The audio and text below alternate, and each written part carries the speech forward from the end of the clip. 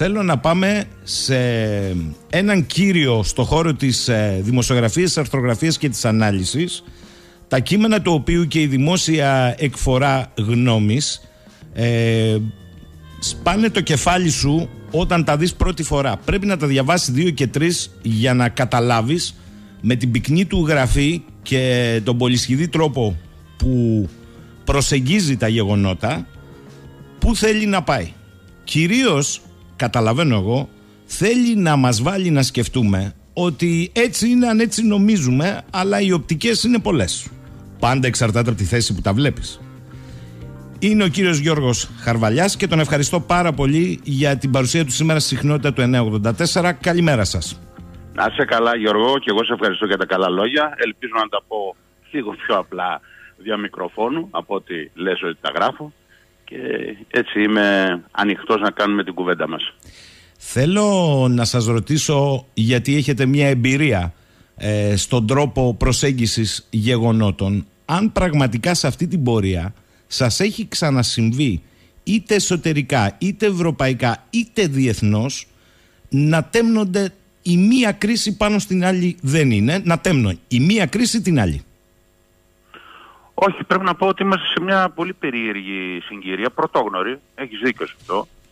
Ε, με ανησυχεί ιδιαίτερα η κλιμάκωση της αντιπαράθεσης και θα πω εδώ ότι το βήμα ένταξης δύο ακόμη σκανδιναβικών χωρών, της Σουηδίας και ιδιαίτερα της Φιλανδίας, η οποία έχει και μια μεθόριο κοινή με τη Ρωσία πολύ μεγάλη, 1.300 περίπου χιλιόμετρων, ε, αυτό είναι ένα βήμα κλιμάκωση αχρίαστο, αν θες τη γνώμη μου. Δεν μπορώ να προβλέψω ποια θα είναι η απάντηση ή η αντίδραση της ήδη στριμωγμένης υπό μια έννοια ρωσικής πλευράς, αλλά και από την άλλη πλευρά η Φιλανδία είναι ένα κράτος ιδιαιτέρως ανεπτυγμένο, έδωσε έναν πικρό και ηρωικό πόλεμο το 1939, έχασε ένα κομμάτι του εδάφους της, φιλανδοποιήθηκε Τελείωσε όμως αυτή η περίοδος, μπήκε στην Ευρωπαϊκή Ένωση, σου θυμίζω Γιώργο μου, ότι και ο Αλεξάνδρ Στούμπ, Πρωθυπουργός και Υπουργός Οικονομικών, και ο Όλι Ρεν, ο κύριος mm. Καλοκουράγιο, μας κουνούσαν τότε το δάχτυλο και ο λίγον έτσι ως λαγή του Σόιμπλε προειδέαζαν για ένα Brexit. Είναι μια πολύ ανεπτυγμένη δηλαδή χώρα με έμφαση στη τεχνολογία, στην εκπαίδευση, η οποία περνάει μια χαρά, ο λαός της περνάει μια χαρά και κατά τη γνώμη μου δεν απειλείται από κανέναν. Μπορεί να δημιουργήσει προϋποθέσεις απειλής με αυτό το βήμα ένταξη των άτομων. Άρα λοιπόν επανέρχομαι στο ερώτημά σου ότι είναι μια πάρα πολύ περίεργη συγκυρία. Συνάμα όμως μας έβαλες και ένα θέμα ότι πίσω από τον πόλεμο στο πεδίο όπου βεβαίως τα μεγάλα θύματα δεν ακοραστώ να το λέω είναι ο άμαχος πληθυσμός ε, οι λαοί δηλαδή αυτό είναι το πρώτο φόντο μας έδωσες ένα πολύ μεγαλύτερο κάδρο ότι ο πόλεμος ε, διεξάγεται πολλαπλώς και τελικώς έχει ευρύτερες προεκτάσεις που μπορεί ακόμη και αυτό που τα προηγούμενα χρόνια ήταν θεωρητικό ότι κανένας δεν θα φτάσει σε μια αναμέτρηση πυρηνικής και δεν εξαφανιστούμε όλοι να έχει πέσει ως ταμπού πλέον. Ακριβώς. Αυτό το οποίο ακούγαμε καμιά φορά στο καφενείο από κάποιον εντός εισαγωγικών γραφικό και μεταξύ μας κοιτιόμασταν με χαμόγελα συγκατάβασης αρχίζει και γίνεται πιθανότητα. Και γίνεται πιθανότητα, θα έλεγα, με, μεγάλη, με μεγάλο μερίδιο ευθύνης και της δυτικής πλευράς. Αυτή η ενθάρρυνση τώρα να μπουν αυτές οι δύο, ειδικά η Φιλανδία, ξαναλέω, στο ΝΑΤΟ είναι πάρα πολύ επικίνδυνη και αχρίαστη, αν θες τη γνώμη μου. Οπότε αισθάνεσαι ότι το πράγμα είναι κάτι μεγαλύτερο σε αυτή την αντιπαράθεση πέρα από την καλώς εννοούμενη αντίδραση της δύσης στην ρωσική εισβολή κατά της εδαφικής ακαιρεότητας και της κρατικής κυριαρχίας ενός, ε, μιας χώρας όπως η, η, Ουκρανία. Εδώ είναι κάτι ευρύτερο και πρέπει... Είναι, ναι, είναι ναι. ένα παιχνίδι γεωστρατηγικής το οποίο εξυπηρετεί αυτή τη στιγμή τουλάχιστον βραχυπρόθεσμα γιατί μεσοπρόθεσμα και μακροπρόθεσμα δεν ξέρω ποιος εξυπηρετείται. Βραχυπρόθεσμα εξυπηρετεί τους Αμερικανούς. Οι Αμερικανοί θεωρούν ότι μια παρατεταμένη στρατιωτική εμπλοκή της ε, Ρωσίας στην Ουκρανία ε, ροκανίζει τροποντινά λίγο την καρέκλα του, του Πούτιν και αυτό θα ήθελαν να συμβεί. Ταυτόχρονος δεν επιβαρύνονται τόσο πολύ όσο η Ευρώπη με τις οικονομικές συνέπειες αυτής της κρίσης, κάνουν εξαγωγή πετρελαίου, δηλαδή έχουν διάφορες συνιστώσεις θετικές από αυτή την εξίσωση, τις οποίες δεν έχει η Ευρώπη και ειδικότερα κράτη ε, μικρομεσαία σαν και εμάς. Mm. Εμείς ε, υφιστάμεθα ένα κόστος από την ιστορία και πολιτικής φύσεως, διότι όπως ξέρεις Γιώργο μου, προτρέξαμε να δώσουμε ε, διαπιστευτήρια έτσι, ατλαντικής νομιμοφροσύνης, ε, θα κριθεί. Θα κριθεί από το ταξίδι του Πρωθυπουργού στην Αμερική, όπου ελπίζω να λάβει μια χειροπιαστή ανταμοιβή, γιατί αλλιώς πολύ τσάμπα διαρρήξαμε κατά αυτόν τον άγαρμπο τρόπο τη σχέση μας με τη Ρωσία. Θέλω να πιστεύω ότι σε δύο τομείς που ειδικά εμάς μας καίνε, δηλαδή τον εξοπλισμό της Τουρκίας, που από ό,τι φαίνεται πάει να περάσει στο Κογκρέσο, πάει μάλλον να κοινοποιηθεί από το Υπουργείο Εξωτερικών και θα δούμε το Κογκρέσο πώς θα αντιδράσει. Ξέρεις, επειδή το ένα θέμα τώρα φέρνει το άλλο, ε, σε ό,τι αφορά την επίσκεψη του Πρωθυπουργού, αυτή έχει δύο σκέλη. Τι θα πει πίσω από τις κλειστές πόρτες, όπου η κόκκινη γραμμή είναι φυσικά να μην πολιθούν ούτε ανταλλακτικά ούτε F-16 στην Τουρκία και ταυτοχρόνως να μην ε, καταστεί ποτέ η Τουρκία ενεργειακός εταίρος στα σχέδια τα τριμερή και τα τετραμερή στην Νοτιοανατολική Μεσόγειο στο βαθμό που μας απειλεί με το Καλουσμπέλι και που έμπρακτα αμφισβητεί την εδαφική μας κυριαρχία. Αυτά πρέπει να αρθούν, να αρθούν, ξαναλέω, για να αρχίσουμε να συζητάμε αν ποτέ θα συζητήσουμε με την Τουρκία. Αυτή λοιπόν η κόκκινη γραμμή πίσω από τις κλειστές πόρτες. Το κρίσιμο είναι όμως τι θα πει δημόσια ο Πρωθυπουργός, τι θα πει στο Κογκρέσο, Εκεί Γιώργο πιστεύω ότι η ομιλία πρέπει να είναι μονοθεματική. Όχι, ξέρεις, το 1821 οι δεσμοί μεταξύ των δύο δημοκρατιών, η ομογένεια. Μονοθεματική, η τουρκική απειλή. Έχει δηλαδή μία άδεια, ένα άδειο τέρμα ο Πρωθυπουργός και καλείται να σκοράρει. Γιατί μπορεί να πει ό,τι θέλει στο Κογκρέσο και θα έχει και ευήκο νους. Οι γερουσιαστές είναι θετικά διακείμενοι προς την Ελλάδα. Ερώτημα κρίσιμο είμαστε και δεν λέω μόνο για τον Πρωθυπουργό που για να μην ξεχνάμε και ξέρω πώς το προσεγγίζεις εκπροσωπεί τη χώρα μας. Ο Πρωθυπουργός δεν εκπροσωπεί ούτε το χώρο του ούτε το κόμμα του, τη χώρα μας.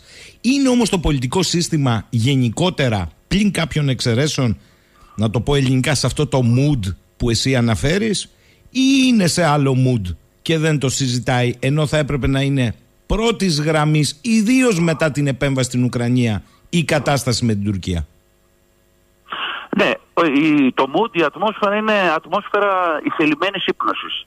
Αλλά όπως είπες και εσύ, αυτό δεν μας απασχολεί. Εδώ είναι η χώρα που εκπροσωπείται και λέμε τι οφείλει να κάνει ο εκλεγμένος και εντεταλμένος πρωθυπουργός. Mm. Οφείλει στο Κογκρέσο να θέσει, όχι σε μία υποπαράγραφο ή να πετάξει μια πενιά απλώς για την τουρκική απειλή, μονοθεματικά η ομιλία και αν θέλει να την εξομοιώσει, γιατί αυτό ενδεχομένως να αρέσει τα αυτιά των Αμερικανών γερουσιαστών βουλευτών, αν θέλει να την εξομοιώσει ή να την παραλληλήσει αν θες και με την ρωσική εισβολή στην Ουκρανία, ας το κάνει. Έτσι κι αλλιώς έχουμε βάλει στην κατάψυξη τη σχέση μας με τη Ρωσία, ας το κάνει. Αλλά να μιλήσει για την Τουρκία, να μιλήσει για την Ελλάδα και να μιλήσει και για την Κύπρο. Mm. Και να μιλήσει και για την Κύπρο. Σε συνεννόηση βέβαια με τον Αναστασία, διότι είχε έρθει άνθρωπο εδώ στο συνέδριο της Νέας Δημοκρατίας. Γιώργο Χαρβαλιά, ε, επειδή ξέρω ότι έχεις καλή εικόνα και πληροφόρηση, στην αμερικανική πλευρά, τι διαγνώσκεις μέχρι στιγμής, διότι υπάρχουν σενάρια ότι η αμερικανική, δεν ξέρω, άλλοι τη λένε γραφειοκρατία, άλλοι τη λένε εκτελεστική εξουσία, θα θέσει ζητήματα στην Ελλάδα. Βάλτε την Τουρκία στο θέμα των υδρογων ανθράκων. Δείτε λίγο το ζήτημα όχι ακριβώς της αποστρατιωτικοποίησης των νησιών, της μείωσης του αποτυπώματος. Παίρνετε και τα ρώσικα τώρα από εκεί που είναι και παλιά Αυτά δεν είναι κόκκινη γραμμή για μας. Ασφαλώς, αυτά πρέπει ε, να αποκριστούν με το, με το καλημέρα. Ε, υπάρχει μια κουβέντα τώρα στην ε, αυτό που ονομάζεις εσύ διοίκηση, administration, το State Department, πιέζει κουτοπώνυρα σιγά σιγά στην αρχή θα θέσει ένα θέμα ε, εξοπλισμού των παροπλισμένων 80 F-16 που έχει η Τουρκία και μετά θα προχωρήσει στο διατάφτα στην πώληση 40 ολοκένουργιων F-16. Θα δούμε, ξαναλέω, τις αντιδράσεις και τις ε, ανοχές και αντοχές του, του Κογκρέσου, θα το δούμε. Αλλά σε ό,τι αφορά την Ελλάδα, ε, όχι Γιώργο, να το πω λίγο λαϊκά και λίγο μαλλιαρά. Ε, όχι και κερατάδες και δαρμένοι. Δηλαδή θα πάμε εκεί και θα ακούσουμε ότι πρέπει να βάλουμε την Τουρκία στο ενεργειακό παιχνίδι. Αν είναι δυνατόν. Mm. Δεν θέλω, θέλω να πιστεύω ότι δεν θα συμβεί κάτι τέτοιο. Ο φίλος ο Αντώνης στέλνει την καλημέρα του στον εξαιρετικό, λέει κύριο Χαρβαλιά, τον οποίο διαβάζω και ξαναδιαβάζω καλά. Το είπατε κύριε Σαχίνη. Τελικά όμως θεωρώ ότι τον κατανοώ. Πείτε το όμως, λέει, ότι ο Πρωθυπουργός είναι καλεσμένος να μιλήσει στο Κογκρέσο επισήμως για τα 200 χρόνια της Ελληνικής Επανάστασης που λόγω COVID δεν πήγε πέρυσι. Μήπως... Ναι, είναι ακριβές. Είναι, είναι ακριβές αυτό, αλλά έχει μια απόλυτη ευχαίρεια, ναι. όπως ε, όταν μίλησε ο Ζελένσκι στην Ελληνική Βουλή είπε ότι ήθελε, έχει μια απόλυτη ευχαίρεια να πάει τα πράγματα, έστω και διαπαραλληλισμών ιστορικών και σύγχρονων, να πάει στο διατάφτα της τουρκικής απειλής. Ακριβές αυτό που λέει ο καλός ακροατής, αλλά είναι θέμα πολιτικής ευχαίρειας την οποία έχει. Το γήπεδο είναι δικό του στο Κογκρέσο. Ε, Γιώργο Χαρβαλιά, θέλω να σε ρωτήσω. Πολλές φορές αναφερόμαστε και γράφεις κι εσύ για την Τουρκία.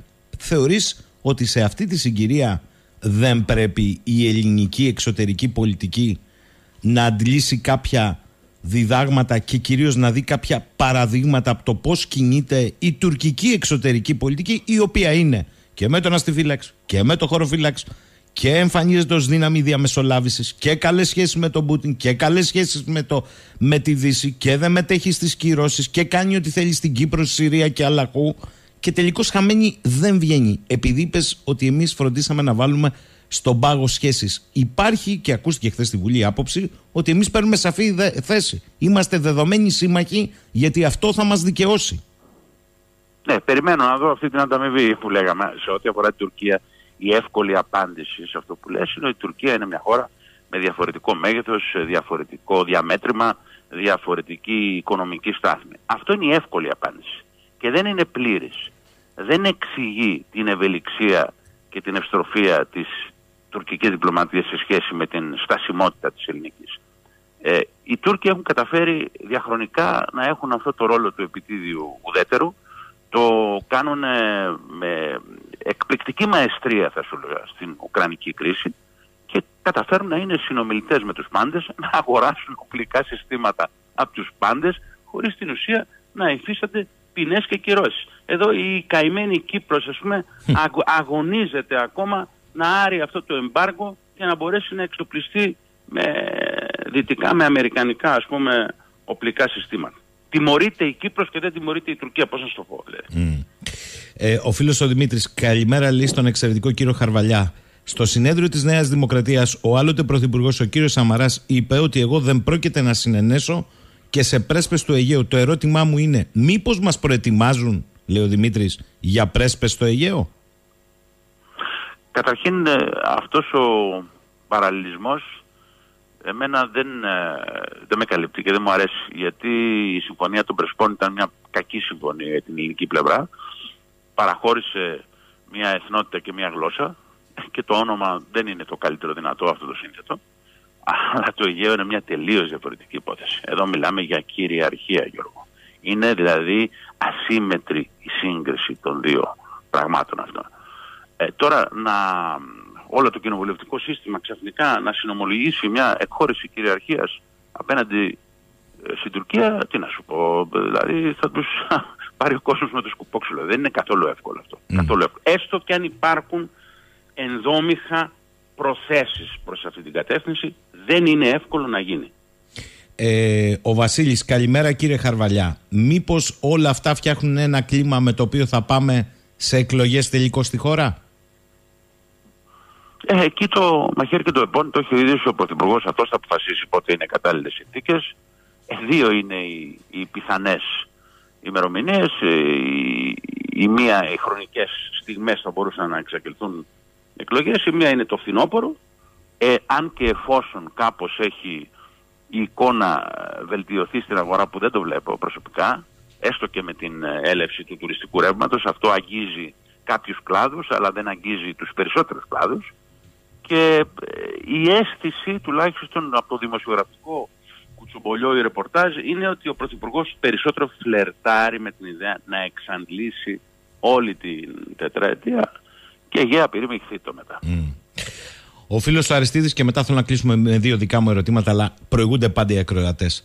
Επειδή θεωρώ, λέει τον κύριο Καλημέρα, επειδή θεωρώ τον κύριο Χαρβαλιά διανοούμενο και όχι απλό δημοσιογράφο, θέλω να το ρωτήσω. Να είναι καλά, ναι. Τι έχει πάθει ο πολιτισμένος κόσμος στη Δύση; Και έχει φτάσει στα όρια της παράκρουσης με καταστάσεις που χωρίζουν σε καλούς και κακούς και κανείς δεν μιλάει για την ανάγκη ειρηνευτικών πρωτοβουλειών, διαμεσολαβήσεων. Αντιθέτως, τζογάριο ένας με όπλα, τζογάριο άλλος με χτυπήματα. Τι συμβαίνει; Έχει απόλυτο δίκιο αν προβληματίζεται ο ακροατής, με δεδομένο ότι ούτε καν στην Ευρώπη υπάρχει μια διαφοροποίηση. Ακόμα η Γαλλία με τη Γερμανία πλειοδοτούν στην αντιρωσική ρητορική. Δηλαδή θα περίμενε κανείς, η Γαλλία τουλάχιστον, να έχει έτσι ένα ρόλο αμορτισέρ σε αυτή την κρίση και να ε, διατηρεί διάβλους με τη Ρωσία. Ανταυτού, ανταυτής μάλλον, η Τουρκία το κάνει αυτό. Εκεί έχουμε καταντήσει. Ο μόνος μεσολαβητικός και έτσι ειρηνοποιός παράγων να είναι η Τουρκία του κυρίου Ερντογκάν. Η Ευρώπη είναι σε μια φάση αντιρωσικής χουλιγκανικής θα έλεγα εξαλότητας, ακόμα και σε ζητήματα τομής πολιτισμού, αθλητισμού. Ε, επιχειρείται δηλαδή ένας εξωστρακισμός με ψυχροπολεμικούς όρους τελείως μιας πολύ μεγάλης χώρας η οποία έχει και ιστορικό διαμέτρημα και τεράστια συνεισφορά στον, στον, στον ανθρώπινο πολιτισμό. Έχει δίκιο αναγνώση. Δεν μπορώ να το εξηγήσω. Νομίζω ότι είναι μια κεκτημένη ταχύτητα την οποία δυστυχώς Γιώργο τροφοδοτούν και τα μέσα ενημέρωσης, τα συστημικά, όχι μόνο διεθνώς και στην Ελλάδα το βλέπουμε ακριβώς το ίδιο φαινόμενο. Ε, Κούλης από τη Θεσσαλονίκη. Καλημέρα, λέει στον κύριο Χαρδαλιά. Σχετικά με την ομιλία του Πρωθυπουργού στο Αμερικανικό Κογκρέσο και όλα αυτά που ευχόμαστε όλοι να υλοποιηθούν, για την πατρίδα μας εκπροσωπεί. Αναρωτιέμαι με την εμπειρία που έχει ο κύριος Χαρβαλιά. Έχουν δώσει οι ελληνικές ηγεσίες ποτέ τέτοια δείγματα γραφής, ή μήπως τελικά πηγαίνουν και λαμβάνουν οδηγίες προς ναυτιλωμένους; Θα πω ότι η ευκαιρία αυτή παρουσιάζεται για πρώτη και μοναδική φορά. Τελευταία φορά που μίλησε Έλληνας ηγέτης ήταν μονάρχης στο Κογκρέσο. Εκλεγμένος πρωθυπουργός δεν έχει ξαναμιλήσει. Άρα περιμένουμε να δούμε πώς θα ανταποκριθεί σε αυτή την ευκαιρία και την πρόκληση ο συγκεκριμένος πρωθυπουργός. Αυτός έχει την ευκαιρία, αυτός πρέπει ε, να βάλει και τον γκολ. Για να σου το πω έτσι. Πάω λοιπόν και στα δύο δικά μου ερωτήματα. Ευχαριστώ τους ακροατές, αλλά τους παρακαλώ να κάνουν κράτη γιατί ο χρόνος είναι περιορισμένος. Θέλω να σας ρωτήσω αρχικώς γιατί το υπενηχτήκατε. Πιστεύετε ότι διαμορφώνεται και στο δημόσιο λόγο αλλά και στην ίδια την κοινωνία ένας ιδιότυπος ταλιμπανισμός όπου έχει χαθεί η ανάλυση, η αιτία, το αιτιατό, τα παραγόμενα σαν να ξυπνήσαμε ένα πρωί και μας προέκυψε η εισβολή και εντάξει πάμε από εδώ και κάτω και αρχίζουμε και χωριζόμαστε. Ιδίως στην Ελλάδα στο δημόσιο λόγο. Ρωσόφιλοι μη ρωσόφιλοι, Αμερικανόφιλοι μη Αμερικανόφιλοι, άσπρο μαύρο, ε, εσύ με αυτούς, εσύ με εκείνους. Πουτινάκι ο ένας, όχι μπαϊντενάκι ο άλλος. Αυτός είναι ο δημόσιος διάλογος. Και τι μπορεί να συνιστά ε, αυτό; Ναι, πες μου Γιώργο. Και τι μπορεί λέω, να συνιστά αυτό στο πώς διαμορφώνεται η ίδια η κοινωνία με αυτούς τους όρους; Κοίταξε, στο θέμα της Ουκρανικής κρίσης υπάρχουν ε, δύο σκέλη. Το πρώτο είναι αντικειμενικά πώς τοποθετούμαστε απέναντι στο συγκεκριμένο συμβάν και το άλλο είναι ποιο είναι το εθνικό συμφέρον της χώρας μας ως προς τη δημόσια τοποθέτησή της. Ε, έχουν μπει πολύ σκληρές διαχωριστικές γραμμές και βλέπω και στα μέσα κοινωνικής δικτύωσης ε, υπάρχει μία πόλωση ε, όπως ακριβώς πριν την, την, την περιέγραψη. Ε, είναι κρίμα γιατί η Ελλάδα έχει πολύ ιδιαίτερες ιστορικές σχέσεις και θρησκευτικού και ιστορικού γενικότερα έτσι, περιεχομένου με την ε, Ρωσία τις οποίες κατά τη γνώμη μου θα έπρεπε λιγάκι να έχει προσέξει και να μην πλειοδοτεί σε αυτά την, την, ε, τα διαπιστευτήρια ατλαντισμού που είπα πριν. Ε, υπάρχουν λοιπόν πολλοί Έλληνες, πολλοί συμπατριώτες μας οι οποίοι το βλέπουν στενάχωρα το ζήτημα. Ακριβώς γιατί έχουν μάθει ορθά να θεωρούν ότι η Ρωσία έχει μια ιδιαίτερη συνεισφορά και αξία στην ελληνική νεότερη ιστορία. Ε, αυτό λίγο άγαρμα το διαρρήξαμε. Και έχει, έχει ενοχλήσει κόσμο, έχει σοκάρει κόσμο αυτό. Το βλέπω δηλαδή, όπως είπες και εσύ, και στα μέσα κοινωνικής δικτύωσης και στις κουβέντες που κάνουμε γύρω μας κάθε mm. μέρα.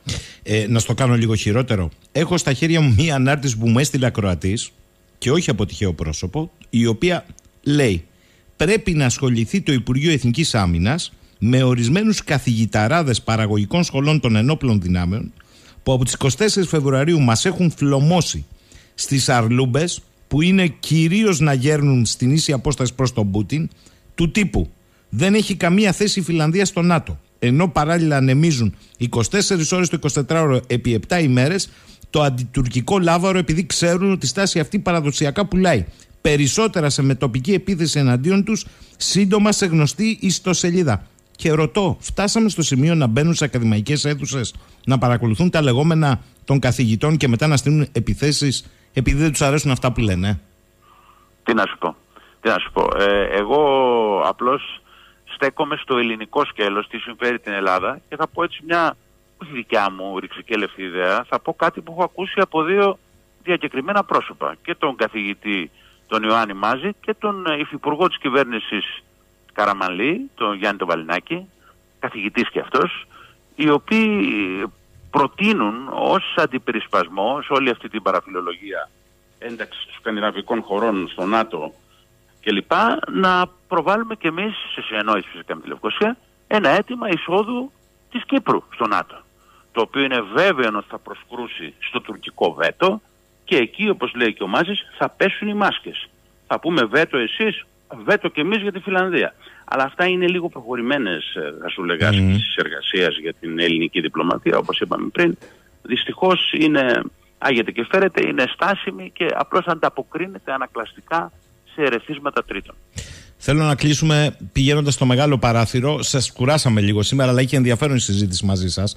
Στο μεγάλο παράθυρο, πολλοί συζητάγανε ότι είναι ένας κόσμος ρυθμισμένος με ζητήματα, παγκοσμιοποιημένος.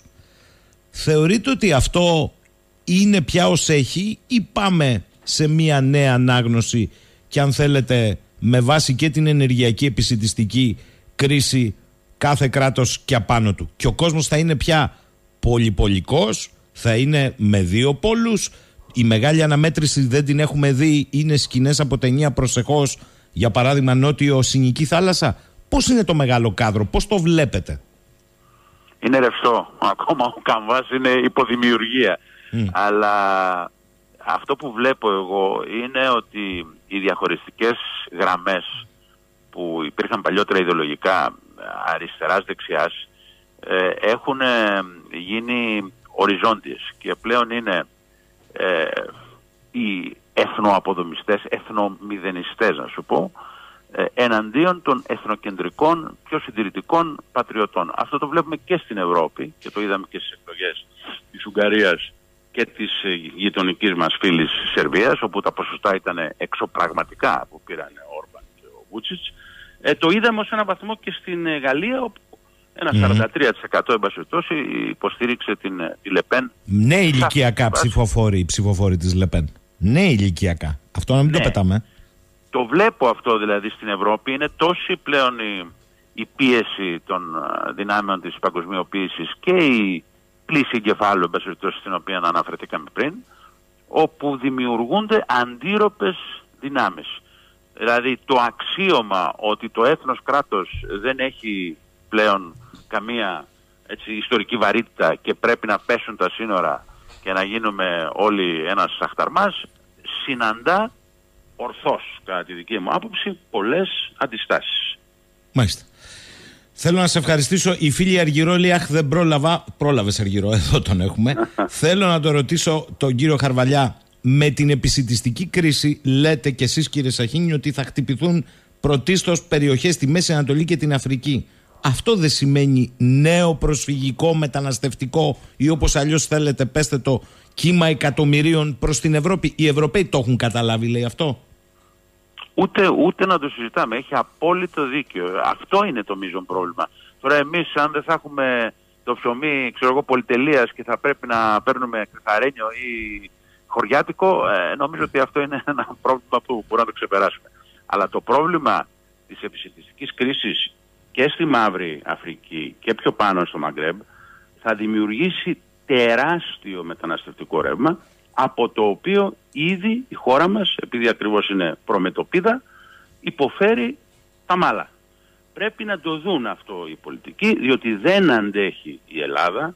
Η Ελλάδα, ξέρετε, απορρόφησε με μεγάλη αξιοπρέπεια και μεγάλη επιτυχία θα έλεγα ένα μεταναστευτικό ρεύμα από όμορες βαλκανικές χώρες. Δεν αντέχει η Ελλάδα, δεν είχε ποτέ απικίες όπως είχε η Γαλλία για να εισπράττει τα επίχειρα. Ε, απικίες εμείς στο Μαγκρέμπ ή στο Πακιστάν ή στο Αφγανιστάν στην νεότερη ιστορία μας τουλάχιστον, παλαιότερα μπορεί να είχαμε, στην νεότερη ιστορία μας δεν αποκτήσαμε. Γιατί λοιπόν να εισπράττουμε τα επίχειρα αυτής της μεταναστευτικής κρίσης; Είναι ένα ερώτημα πολύ σωστά το έθεσε η Ακροάτρια. Θέλω να σας ευχαριστήσω με την υπόμνηση του νεκτάριου, αν και εγώ δεν συμφωνώ με αυτά. Η Φιλανδία λέει είναι φιλότουρκη χώρα, είναι δυνατόν να αφήσουμε να μπει ένα ακόμη αγκάθι στα πλευρά μας στο ΝΑΤΟ χωρίς να κερδίσει η Ελλάδα. Ε, ε, παιδιά, δεν υπάρχει φιλότουρκος αντί Υπάρχουν συμφέροντα, αλλά κύριε Χαρβαλιά, θέλω να σας ευχαριστήσω για τη σημερινή συνομιλία, κυρίως γιατί απαντήσατε σε παρεμβάσεις ακροατών. Για μένα αυτό είναι το κέρδος σήμερα. Αυτό είναι το σημαντικότερο, να υπάρχει μια αμφίδρομη σχέση με τους ακροατές. Καλή σας ημέρα από το Ηράκλειο. Ευχαριστώ πολύ, Γιώργο. Ευχαριστώ.